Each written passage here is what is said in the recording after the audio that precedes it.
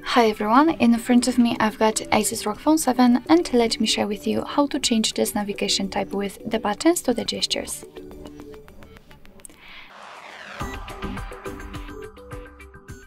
So first of all we have to find and open the settings, so let me find them and here let's tap on the display option. Now we have to scroll down until you will find the system bars and here we have to tap on system navigation.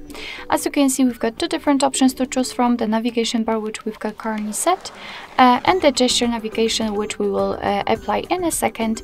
Um, however, before we will do it, just a quick disclaimer, if you want to stick to the navigation bar, to the three buttons navigation, you can customize them here just by tapping on the settings icon and as you can see you can uh, either manage the recent app keys and you can reorder the back button and the recents so and that's quite cool. Uh, and uh, let's come back to the gestures navigation. Just tap on this option. It will be marked and as you can see the three buttons will immediately disappear.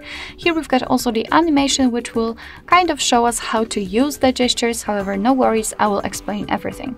We can also enter this settings icon and uh, here we've got the digital assistant. You can turn it on or off. And the back sensitivity i highly recommend to get back to this option after a while of uh, using um, the gestures because you will be able to decide whether you want this back sensitivity area to be uh, lower or higher. Um, and here we've got the gesture indicator, uh, so this line, you can show it or hide it and to be honest I prefer this option uh, hidden. So um, right now I can explain you how to use the gestures. So if you want to get back to the previous page just by like uh, just like by using the back button, you can you have to basically. Swipe your finger from the um, from the side to the center of your device and until you will see this um, arrow and release the finger. And as you can see we just got back. It will work the same from the right side.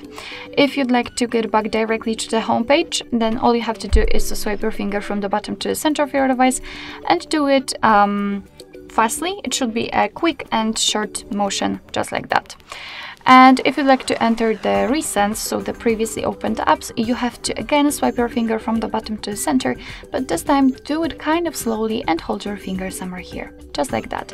And as you can see, here we've got the recents. Alright, so um, basically just as I said, this is how to set the gestures navigation this device.